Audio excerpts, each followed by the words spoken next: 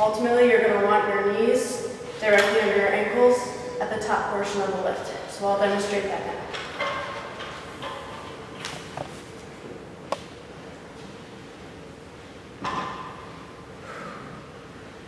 Notice how I'm not lifting my chest, I'm letting my ribs come out. This is another way where people tend to overactivate the hamstrings and underactivate the glutes.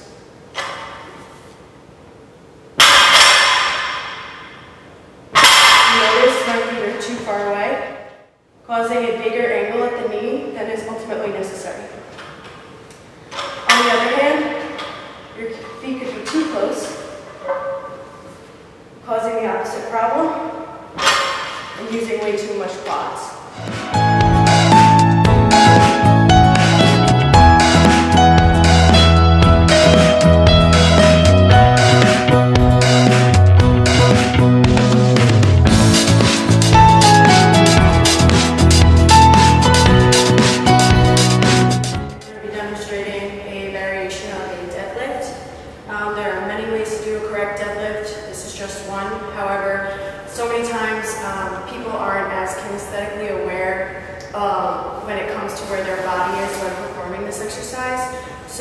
Sure not to round through the upper back or to overextend through the hips.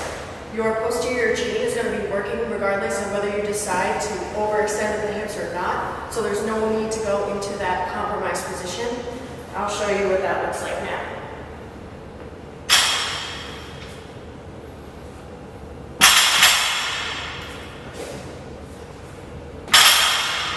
That's putting your back in a pretty unhealthy position, especially when you start to load this exercise with a lot of weight.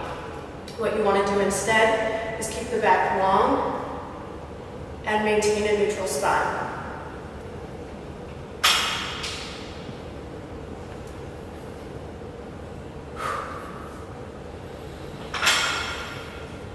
Other than that, you want to make sure that you're not doing anything excessive with the extension of the neck so something like this, when coming out of the lift, is not optimal. You want to keep your entire spine from head to tail as neutral as possible.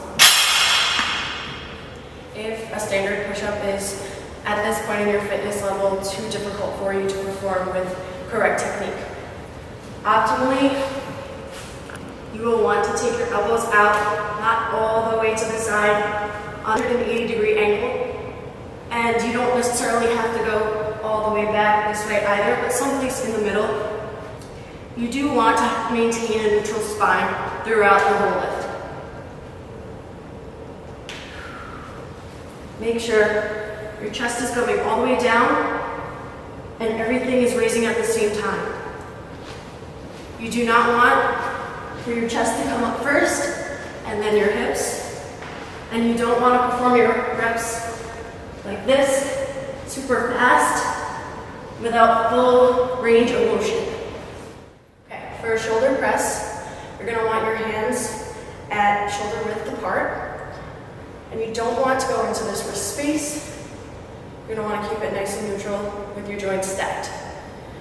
From here, you're gonna keep a soft bend in the knee and drive the bar straight up without going into hyperextension. So this would be correct form for a standing shoulder press.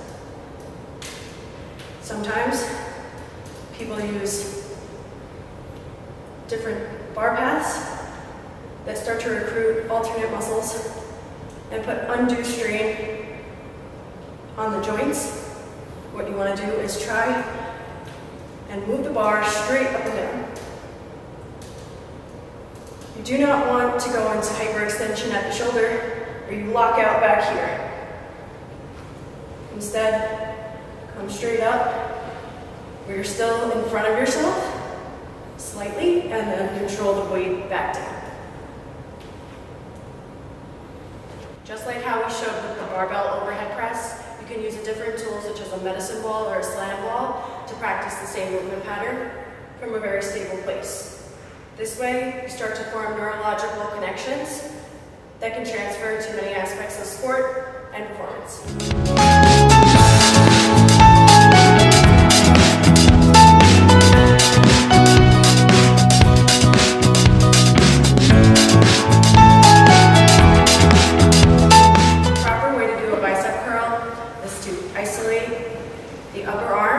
And move only from the lower portion of the arm up to a full contraction.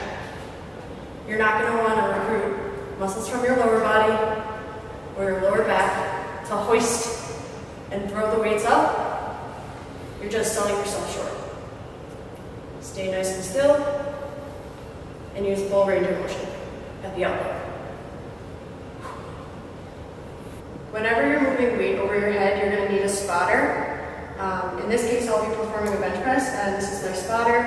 Um, it's very important as a spotter that you are attentive and making sure that that person is protected by, from the weight at all times. Jason, please spot me. I'm, I'm looking forward to hitting a PR.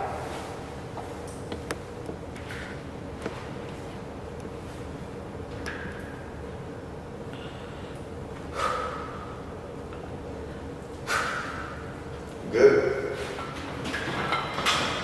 Help! Help!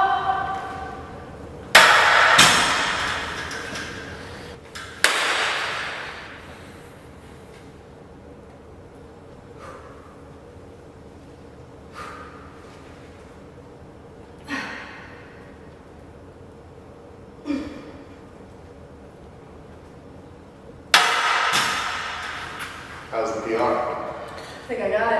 If you want to properly perform this exercise and gain reps over time, you're going to have to perform with correct technique and with no help from your friend unless you're really stuck.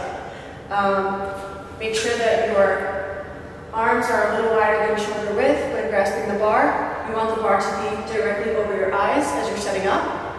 You want your feet, low back, shoulders, and head firmly planted in the bench. And the bar does not bounce off of your chest.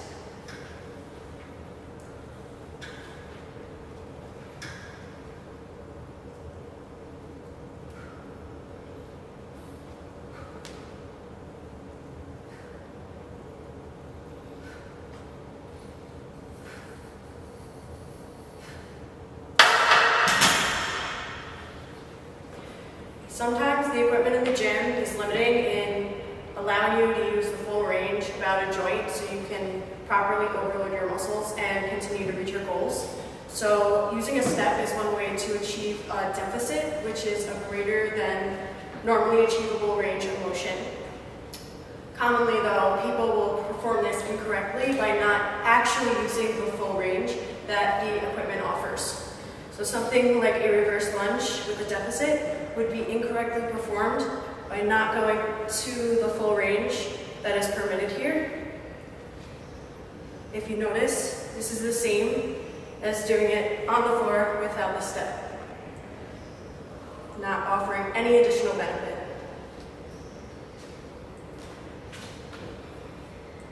If you want to use the deficit, you're going to want to perform the lunge with a full range, coming almost down all the way to the ground.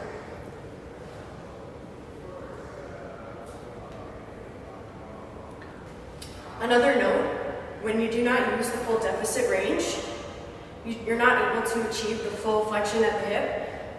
If you notice, my knee is not bending to its full potential here, as it is here. When I use the full range with the deficit, my hip reaches full flexion, and so does my knee. When you're in the gym, you're not going to want to use strange equipment to overcomplicate the classic exercises that are already designed to improve your strength and your muscle size. I'm going to demonstrate a lateral raise on a Bosu ball.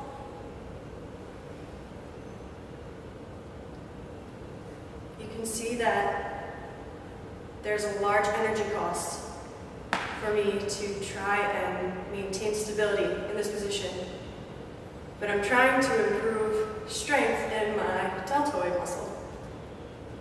It would be much more advantageous for me to stand on a stable surface with correct form and isolate at the shoulder joint so that I can progress the weight over time with stability and power.